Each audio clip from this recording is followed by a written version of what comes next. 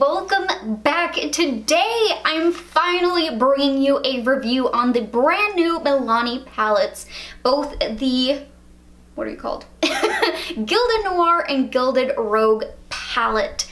I am so very excited. I picked up both of these. They launched the day of my birthday, June 11th and they had incredible shipping. I received it next day. I didn't pay for extra shipping or anything like that.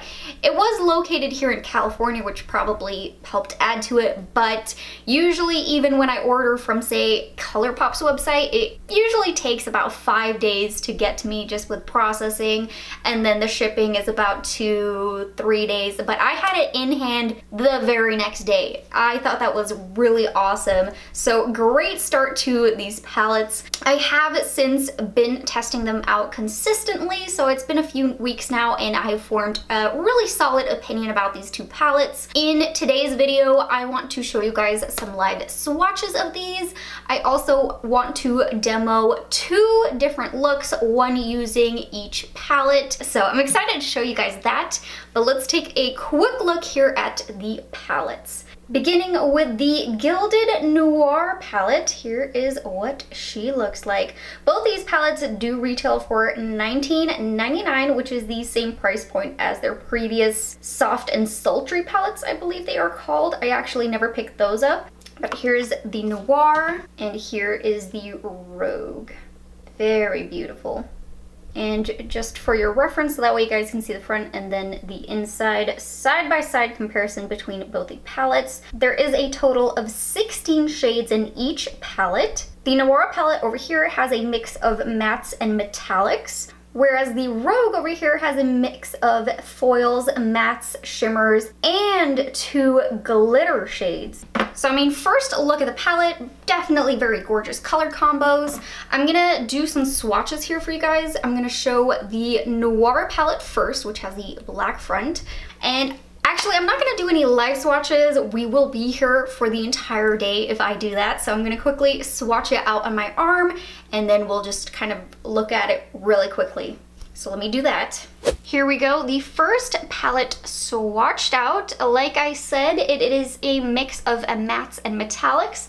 The majority is gonna be metallics. We only have four matte shades to work with, which are these two front shades right here, the cream shade and the kind of tan shade. And then the last two shades, which is this dark brown and the black shade. The rest in between are all shimmers or metallics. Look at this fun array of colors here. Now we're diving into the Gilded Rogue palette with the swatches. Now this one has the mix of not only metallics, foils, and mattes, but it has two glitter formulas. So the red and the purple over here are glitters. So I'll just kind of go through really quickly which one's which since the other one it was kind of easy to tell it was the front two and the last two that were the mattes, rest shimmers. So up front here we have the shade, I think you pronounce it ethereal. This shade is a shimmer. Then we have two matte shades here, Hush Hush and Peach Fuzz. We have a metallic on taupe, fun play on words, Slow Burn, a metallic, Rose Soiree, a matte, Carrot, a metallic, Wait What, another metallic, Sangria, a matte, Old Fashioned, I would say more of a shimmer, it's not as metallic looking, Overbaked, a matte shade, Avisi Moi, I'm totally butchering that, but that is a metallic shade. We then have By the Glass, a matte. We have the two glitters, Femme and Wifey. And lastly, we have Bewitched, another shimmer shade. So that's the whole Gilded Rogue palette. So now that I've shown you guys the swatches, I'm gonna lead into showing you guys a look with each palette. And then at the end, I'm gonna give you guys my final thoughts on both of them. For the first look, I went with something a little bit more dramatic. I realize now that my eye look almost matches the outside packaging of this. Kind of works out perfectly. So I am getting right into it and we're starting off with the shade Lust, this dark chocolatey brown. I'm gonna be packing this shade on in that halo shape, creating that circle all the way around when you add it to the lower lash line and just really packing on that color. And I'm using my Ipsy X Tetris brush I just got in my Ipsy bag. This is perfect for it. It's very tiny and tapered and can get the color exactly where I want it. So I'm just really pressing in the shade at first. Not focusing on blending at this point, I'm just more so packing on the color and then gonna blend out after. And then once I'm happy with the level it's at, I'm gonna take my brush cleaner, clean off the brush I was just using, make sure there's no extra product, and I'm gonna lightly run it along the edges to blend it out. Just as a quick blend before we go in with a lighter shade and blend out the edges. And then for the second step, I'm gonna be going in with the shade Entitled, and I'm using that on my Luxie 121 Mini Tapered, and this is just gonna be to help blend out that brown shade, blending out the edges. So I'm just taking all the way around. And before I forget, I'm also gonna take that shade Lust, the dark brown, and run it all the way along the lower lash line with my Real Techniques which brush are you? Shading brush. Blending that all the way across. And then to help deepen things up just a smidge, I'm gonna dive into Dark Side. In the dark side of the moon. Taking that on my Morphe Y19 brush, I'm gonna very lightly pack it on the outer V area. Just using little patting motions. I'm not blending upwards yet. I'm just packing on that shade and the same on the inner part of the lid. Now dunk back into the palette, add a little bit more, bring the color upwards. Once that color is packed on, I'm switching over to my Sigma E30 brush and I'm gonna use this to help blend along the edges and bring that color in the crease right here just to connect that color. Blend it all together. Taking a little bit of that color on the lower lash line too adding a little bit more color just to intensify things after it's been blended. If I see an area that just needs a little bit more attention, I'll just pack on a little extra color and then switch brushes again, blend that out. Whoops, I should have added some extra powder over here on the nose because I'm getting a little bit more fallout here out here It's probably for me not tapping off the brush enough. I'm gonna take a little bit more of my Urban Decay Eyeshadow Primer Potion in Eden. I've started to use the primer instead of concealer to cut the crease. Whoops, almost dropped my brush. And I actually find it works out really well when cutting the crease.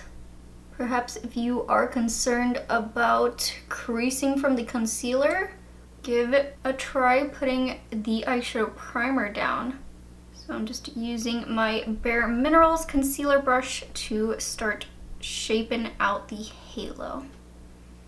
We can now move on to the all over the lid color and I'm going in with Solid Gold. I'm also giving it a little spritz just to help it out. I always do that. And I'm plopping this shade down everywhere that I placed the primer. Oh yeah, and I'm using my MAC 248 brush to apply it. And just for fun, because I wanted to test it out, I took the shade Don't Ask on the other side of the brush, the same brush I was just using. Again, a spritz. And I just pack that in the center of the lid. Then just to tie everything together, I'm going back in with the shade Lust using my Makeup Geek small pencil brush. Is that the one? Small crease brush. And I'm just applying that color along the edges, blending it out. I'm gonna take a little bit of the shade Bubbly on a pencil brush and highlight the brow bone. Now all that's left to do is wipe away the bake, go in with some Too Faced Better Than Sex mascara, apply some falsies. I'm gonna go in with the Salon Perfect 614 Wispies. Boom! Here's the final look using the Gilded Noir palette. Let's now roll on into eyeshadow look number two using the Gilded Rogue. Jumping right into eyeshadow look number two, we're gonna now use the Gilded Rogue palette and I'm gonna get started with the shade right up top called Peach Fuzz. I'm taking that shade on my Luxie 121 Mini Tapered. Just gonna start building the shade up in the crease. So I'm just gonna be building up the shade and blending it out from the inner to the outer. Same color and same brush, I'm also gonna take it all the way across on the lower lash line. Next, I'm gonna take the shade Sangria, taking that on my Tetris X Ipsy tapered blending brush. I'm packing that in the outer V, just laying down that shade.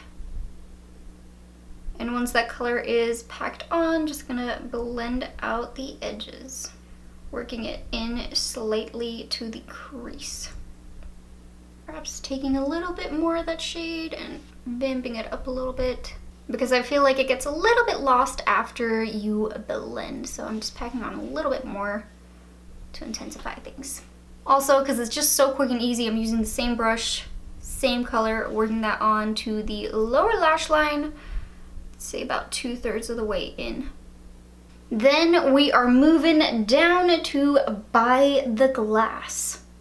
Taking that shade on my Morphe Y15 brush, I'm gonna just pack that shade on, make things a little bit more darker. So I'm just packing on that shade, slightly blend it into the crease. Trying to keep it fairly low because I still want to see that pink and that peach shade.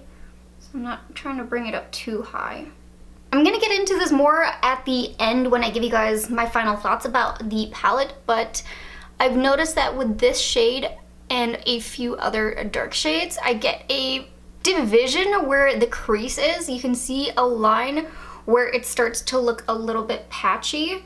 Just kind of frustrating because I have to then go in with more color and try to blend that out. So I'm going in with even more pigment right now. Trying to blend through that.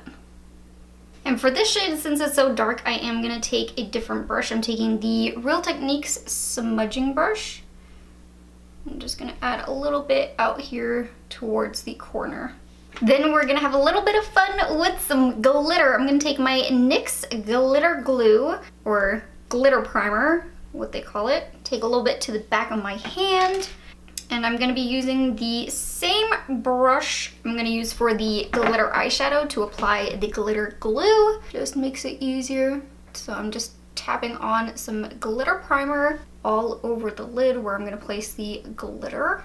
And then I'm gonna go in with the glittery shade down here called Wifey. And it's actually not just purple, it has some blue glitter flecks inside of it also. So the combo is beautiful. So just plopping this all over the lid. And that was the last step for the shadow. Very easy and straightforward, not a whole lot of steps to it. All that's left now is to wipe away the bake, add some mascara and some lashes. I'm gonna use the same combo as I did in the previous look, and then I'll be done. And here is the final look. So those are both of the looks completed using each of the two new palettes. So let me give you guys my final thoughts. Now, I had very high expectations for these palettes. I mean, they looked beautiful to me. I was hoping that they were really gonna pack a punch when I started to use them. Oh, open up, open up palette. There we go. I mean, just look at these palettes. They look really fun. They look very vibrant. I was so excited that Milani was stepping out of their comfort zone and they were doing something so fun and out there like these two palettes because at the drugstore, I mean, there is not a whole lot of fun, colorful options. I mean, there's some here and there, but I felt like these were so adventurous for the brand to bring out. So the fact that you could would be able to find something so fun at your local drugstore is awesome because not everyone has an Ulta or Sephora or likes to shop there. So this would be a great option for a lot of people to have access to. With that being said though, I ended up being pretty disappointed. So let's roll right into it. Now, in both of these palettes, I found that the lighter matte shades performed really well, applied to the lid very beautifully, had no issues blending it, packed on a lot of color, it was fine. But where I ran into issues was with the darker matte shades. So the black down here, dark side, I had a lot of issues where I felt like it looked patchy. I would pack on the shade, I would blend it out, and I feel like the shade then disappeared. I'd have to go in with more color, and then as I kept blending it, I just felt like it looked very, just very off which was the same issue I was having with the shade in the Rogue palette by The Glass. I had the same issues with this shade where I would pack it on and just felt like it was very lackluster. The color was not that intense. I went into blend it and I felt like I lost a lot of the color, would go into blend more, and then I had issues where it would leave lines in the crease where some of the pigment would not stick and I would blend and blend and blend and blend and blend and it just did not really help. And same with the shade Overbaked, had issues with that one, had some issues with the shade Lust, which is really unfortunate, at least for the Noir palette. That is the only issue that I had with this palette. These shimmery shades are gorgeous. The lighter matte shades perform beautifully, so unfortunately these two darker shades ruin it for me it definitely brings down the level of the palette. And I had one more issue with the Rogue palette, and that is the two glitter shades. The formula that they sit in you definitely can't use that alone on the lid. It, I have tried it. I have tried it different ways. Like I show you guys, I put on the glitter glue today. And before that, I did try to use these with just how they are sitting in the pan here. No, no, no, no, no, no. it gets so greasy. The formula just does not stay put. It sets itself where it doesn't feel like it's Vaseline in there, but it does not want to stay. I mean, if you have folds in your lid like myself, most of us do, you will get a lot of creases throughout the day. Using it with a glitter glue does help. It does not crease as fast, but I found that it still ends up getting some creases. They're definitely a little bit more minor, but I mean, it's where the lid folds in on itself. I've seen that I start to get some lines going through it, which is always disappointing. I've never been a fan of getting glitter inside of palettes like these. Normally doesn't work out. I've only ever found one palette that actually worked. That was the ColourPop Sweet Talk palette. They had a glitter formula in that one. I was able to use it just straight out the pan and apply it to the lid and it stayed put the whole day. That is a first. That is the only palette. I mean, that's the standard right there. So these two shades I was again disappointed by. So that added with the matte shades I wasn't a big fan of. Also the shade Ethereal looks beautiful when you swatch it out. Very pretty, dusty pink shade, but when I go in to apply it on the lid, it does not really show up. It does not want to come off onto the lid. I use it with a brush, it doesn't work. I put setting spray, does not work. I use my finger even, and I get nothing off. It's more of a topper shade, but I feel like even then it just does not do enough for me. So that shade right there is kind of like Meh. So this palette for me is definitely lower on the list than the Noir palette since I did have more issues with this one. If I were to give these a rating, I'd probably give this one a 3 out of 5 stars, this one a 4 out of 5. Maybe that's being really generous, but I definitely would say that these two palettes are not something that you should rush out and get. I was disappointed by these. Since I have them in my collection, I will definitely keep using the shades that I like, but if I were you guys, I would probably pass on this, which is so unfortunate. Oh, I was so excited by these palettes and unfortunately I was let down. So I do really hope that you guys enjoyed me showing you guys these new palettes, testing them out, giving guys two new eye looks, and giving guys my final opinion on them. I really want to know what you guys thought about these two palettes down below in the comment section. I would love to hear from you guys and see what you guys are thinking about it. If you like this video, please don't forget to hit that like button, subscribe to my channel, and hit that little bell button, and I'll see you guys in my next video.